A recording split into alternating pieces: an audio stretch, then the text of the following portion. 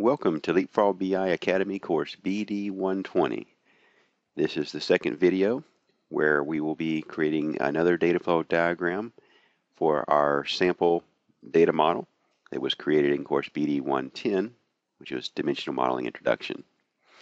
So let's get started.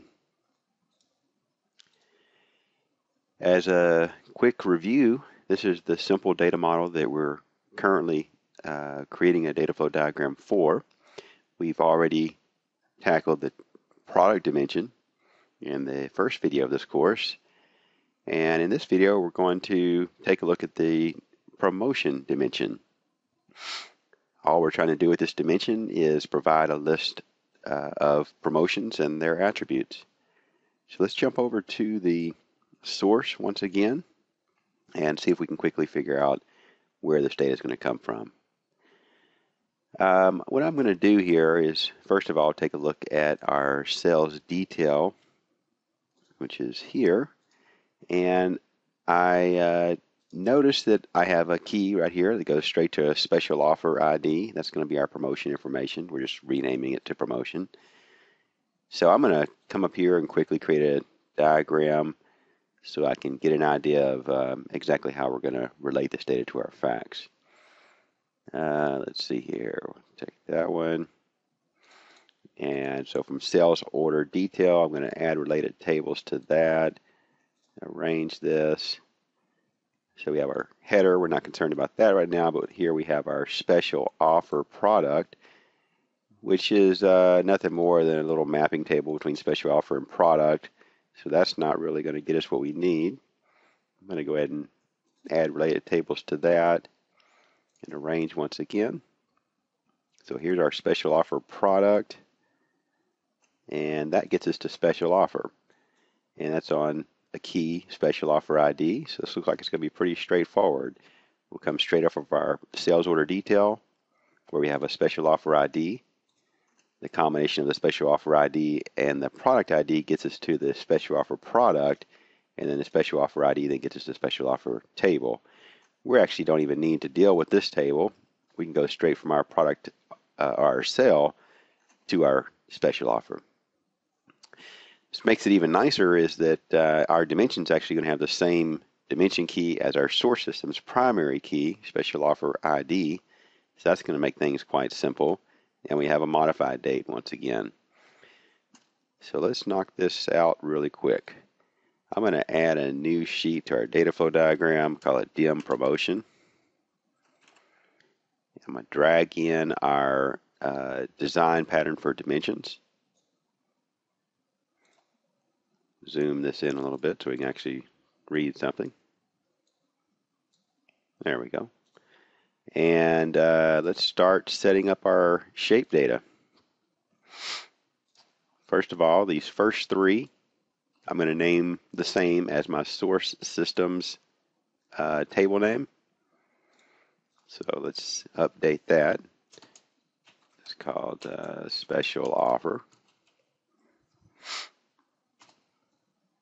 I'm going to go ahead and take care of all the names while I'm at it. This DS, again, is a dimension source.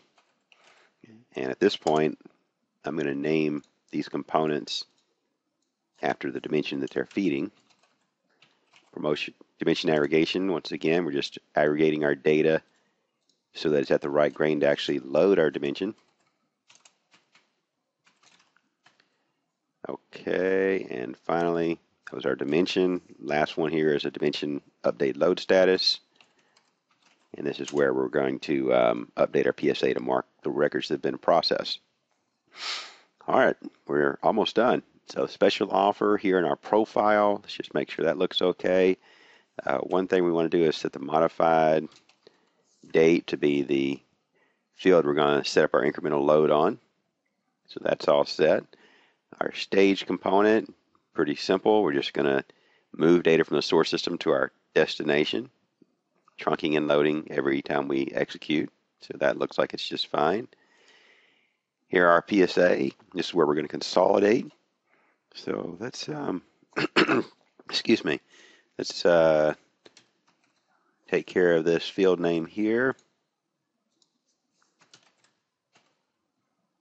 That looks good.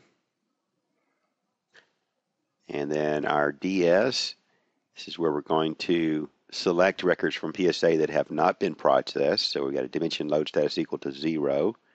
That's fine.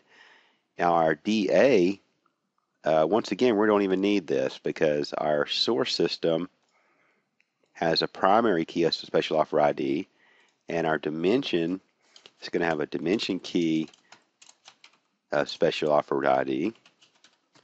So we know that we're not going to be receiving two versions of a special offer ID um, with the exact same modified date.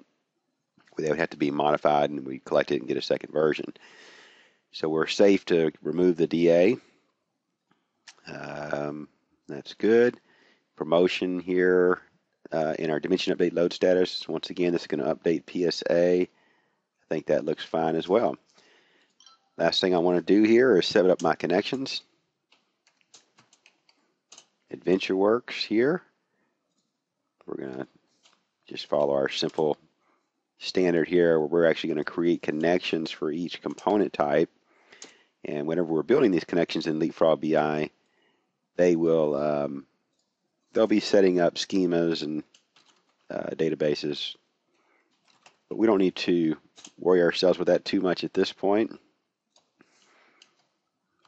That's going to be our data warehouse connection. And this will be back in our PSA.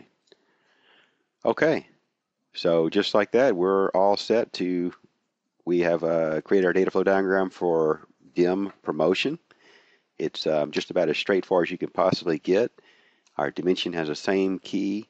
Our dimension has a dimension key, which is the same as our source system's primary key, which which uh, made it so that we don't have to worry about our aggregation. We know we're getting things at the right grain, and Leapfrog BI will make make sure that things are loaded chronologically.